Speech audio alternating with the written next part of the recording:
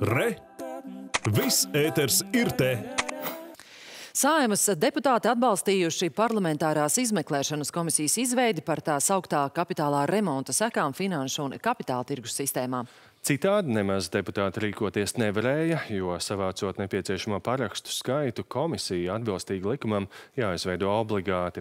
Tās iniciators ir partija Latvija pirmajā vietā, kur atbalsta arī citi opozīcijas deputāti. Plašāk par to ziņo Madara Līcīte.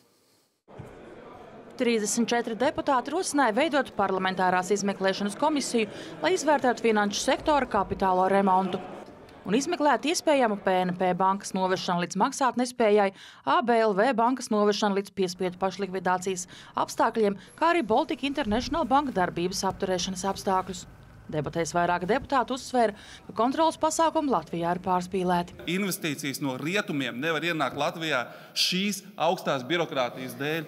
Un tā ir problēma, un nevajag no tā novērsties. Un tieši tāpēc mēs parakstījām šo izmeklēšanas komisiju. Savācot 34 parakstus par izmeklēšanas komisijas izveidi, saskaņā ar satversmi deputātiem prasība jāapmierina un jāpiekrīt komisijas izveidošanai. Skeptisks par komisijas iniciatoru mērķiem Saeimas sēdē bija jaunās vienotības frakcijas deputāts Edmunds Jurēvits. Patiesie mērķi nav kaut ko izmeklēt, bet dažam labam piemīt nostalģija pēc laikiem, kad Krievijas un Kremļa funkcionāru naudas atmazgāšana bija daļa no Latvijas bankām, bija ikdiena.